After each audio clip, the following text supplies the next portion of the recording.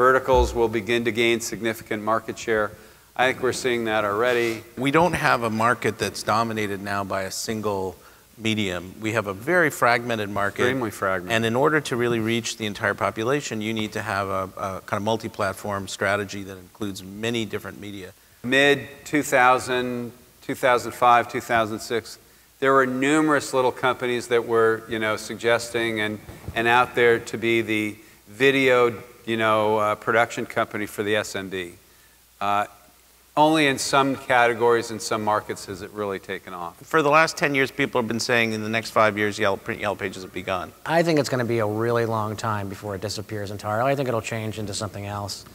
And there'll be some categories that are stripped out, as, it, as has happened historically. Well, it's, but it's I think there, there, will fund, there will be some kind of printed printed type book that's delivered to households. If you were 15 or 20 in 1995 when the internet was available to everyone, you're now 30 or 35 when in 2010, and those are the real high usage years of the old print model. And those people were never going to be using the book much. If you look at the enterprise market, there's a lot of money that's spent typically on retention of existing customers. So these large enterprise customers that know who their folks are, they do lots of data appending so they can mail you more circulars and all kinds of things. So the money is already there and being spent. It's like, depending on the vertical, 40, 60, 50-50 spend on, on retention. If you look at the small business market, they don't spend any. It's like less than 5% or something like that.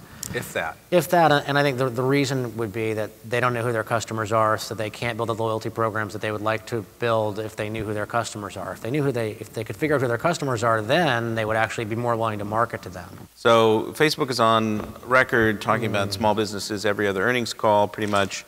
We've got 20 million, 25 million small business page owners and we've got a million advertisers, the majority of whom are small businesses, and we want to migrate more of these free freeloaders into the advertiser category. So clearly, they're very focused on it. Um, the question is, what's the methodology or mechanism? One day, somebody like American Tire Distributors, where they have, I think, uh, 75,000 tire dealers as their customers, uh, get into the game of selling digital advertising.